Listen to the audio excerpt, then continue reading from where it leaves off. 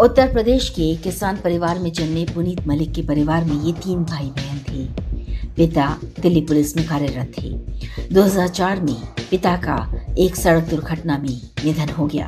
अब सारी ज़िम्मेदारी पुनीत के ऊपर थी।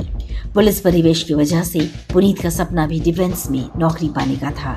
इसी वजह से पुनीत ने बारहवीं कक्षा के बाद ही नौकरी पाने की कोशिश शुरू कर दी। साथ ही उन्होंने बीए भी कर ली।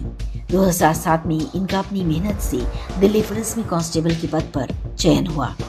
2020 में इन्होंने एक वंचित अपराधी को गिरफ़्तार किया, जिस पर पचास हज़ार रूपए का इनाम था। इसके लिए उन्हें असाधारण कार्य पुरस्कार से सम्मानित किया गया और दो बार अच्छे कार्यों के लिए सीपी अवार्ड भी मिला। 2022 में इन्होंने एक और सराहनीय कार्य करते हुए 25 साल पुराने एक मर्डर के अपराधी को पकड़कर शिकायतकर्ता को न्याय दिलाने में अहम भूमिका निभाई। ये एक कोल्ड ब्लड मर्डर केस था और आरोपी व्यक्ति की कोई फोटोग्राफ भी नहीं थी। हेड कांस्टेबल पुनीत को सर्वेयर के रूप में पेश किया गया और बीमा कंपनी के कार्यालय क्लर्क आरोपी रामू और उसके परिवार के सदस्यों का विवरण एकत्र करने का काम दिया गया। एक साल से भी अधिक समय तक टीम के सदस्य मृतक किशन लाल के परिवार के साथ लगातार संपर्क बनाए रखे। अलग अलग स्रोतों से लगातार खोजबीन करते हुए आखिरकार ये इन भगोड़ों तक पहुँचने में सफल हुए। किशन लाल की हत्या के समय उनकी पत्नी सुनीता गर्भवती थी।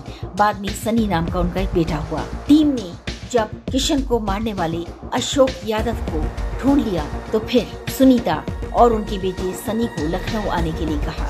आरोपी अशोक यादव को देखते ही सुनीता बेहोश हो गई। टीम के सदस्य चौकन्ने हुए और उन्होंने राहत की सांस ली कि कठोर परिश्रम के बाद आखिरकार उन्होंने इतने पुराने हत्या के एक मामले को सुलझा लिया। 2017 में हेड कांस्टेबल पुनीत मलिक ने पिछले छह महीने में 60 से ज़्यादा भगौड़े अपराधियों को पकड़कर जेल पहुँचाया है। इतने कम समय में इतने अच्छे काम को करने के लिए डीसीपी श्री सागर सिंह कलसी ने भी उन्हें बहुत सराहा है। अभी पुनीत एटीएस नॉर्थ में तैनात है। ये था वर्तिका नंदा की आवाज़ में। आज का किस्सा खाकी का।